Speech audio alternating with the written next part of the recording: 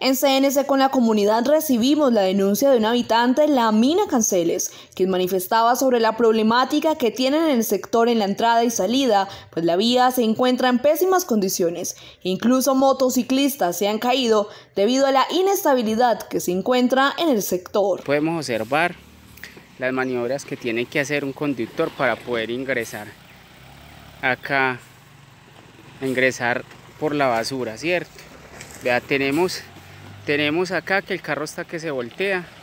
igual no hemos podido eh, hacer a que nos organicen la vía, ya que vea, ahí podemos observar si acabó de, de, caer también un señor en una moto y pues vea cómo baja el carro de la basura de Ates.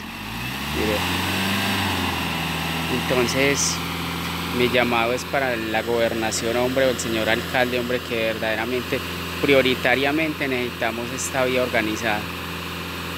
De verdad que sí.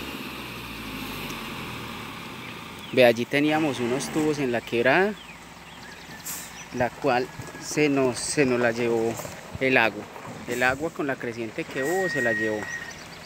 Entonces, el llamado es para, para el alcalde, hombre, Carlos Maya, hombre, que por favor nos organice la vía. Ahí pueden observar que es una dificultad cualquier carro para bajar y para entrar, para ingresar acá al sector de la mina Canceles. De verdad que es tienen que hacer unas maniobras muy bravas. Ante esta denuncia consultamos con la Secretaría de Infraestructura de Pereira, donde el jefe de la cartera anunció que tienen programado realizar el mantenimiento de la vía. Nosotros venimos atendiendo eh, las solicitudes de toda la, de toda la comunidad. Entre ellas eh, hay una solicitud de la comunidad del sector de la mina, porque hay un problema con la vía y no entra el carro de la basura. Eso ya nosotros eh, lo tenemos eh, detectado, estamos, ya hicimos la visita y estamos dentro de la programación del mantenimiento de las vías que tenemos en el sector sur de la ciudad eh, tenemos programado realizar ese mantenimiento en la mina.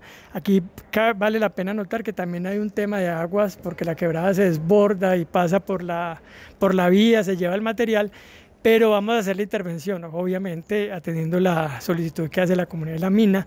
Sabemos que es un tema muy importante para ellos y que en este momento tienen dificultades, pero vamos a resolverlas y esperamos que la semana próxima estemos atendiendo esa solicitud y haciendo el mantenimiento allí en ese punto.